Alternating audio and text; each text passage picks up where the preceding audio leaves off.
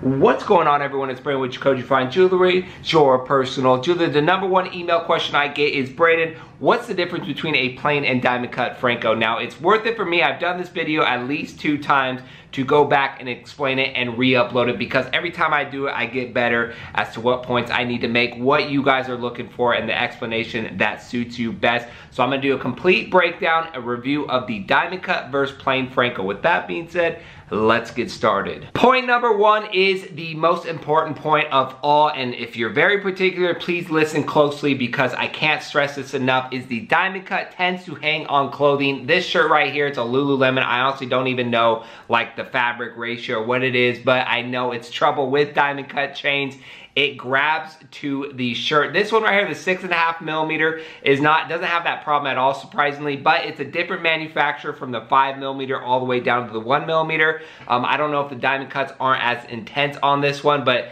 it doesn't really grab. I have my chains under there, which is kind of snagging it when I do that, but um, it doesn't really grab. Now the big thing with this is this is also a very heavy chain, 150 plus grams. That helps with it, kind of anchor it down when we're going lighter, like the one, the 1.2, one and a half, two millimeter. You guys get the point. There's not as much weight, so it'll definitely grab and snag not all the time, but from occasion, it can do that. So keep that in mind. For instance, with my goat pendant, I wear a one and a half millimeter plain Franco for this very reason. The goat is hollow. I can't believe I said that in on, on camera, but I bought it like that. I didn't make that piece. I just bought it wholesale. It's hollow, so I wanted just a plain Franco to reduce that issue because regardless, the goat with all those diamonds was the focal point. I didn't really need a diamond cut Franco to help with that look, so my preference was just to have a clean, classy look with the plain version and then have it paired with the goat. That was the look I was going for.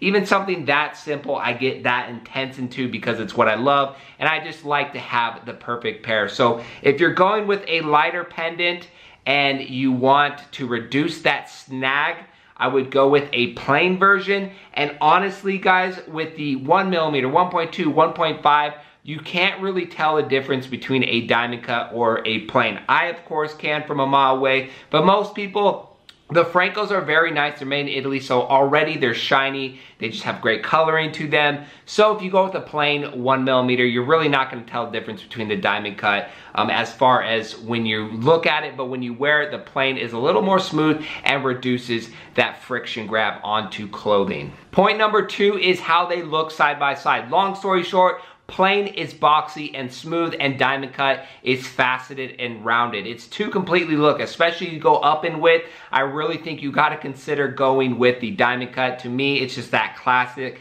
Jacoje Franco look, what I know and love. I respect the plain because it is a great wear. It's smooth and you get a classic gold chain look with it. I just don't think it compares to the diamond cut version. Um, when we're talking like three and a half, four, five, and then this six and a half, the big boy. I think you gotta look into the diamond cut version first, but if point one is going to make a big difference to you, if you're super particular, then stick with plain. There's nothing wrong with the boxy look. It's a nice gold chain look. It is not the Lamborghini that the diamond cut offers, but at the end of the day, it's a Jacoje chain and you're getting a great wear with it. And the smooth surfaces does make a big difference and play out, especially if you're planning on wearing it a lot or every day. You don't want to get something that bothers your neck and the diamond cuts catches you and you're frustrated with it all day long, especially with the gram weight you're going to have to spend to get a Franco because they are heavy. But the larger they are, like two, I'd say two and a half millimeters plus, you really start seeing the difference visually with these chains. And point number three is very easy and simple. You buy your Francos on www.jacoje.com from the Franco King. You see that? You see that right there? I wear all athletic apparel gym clothes and I haven't been to the gym in three months. That's it for today's video. Let me know what your preference is between diamond cut or plain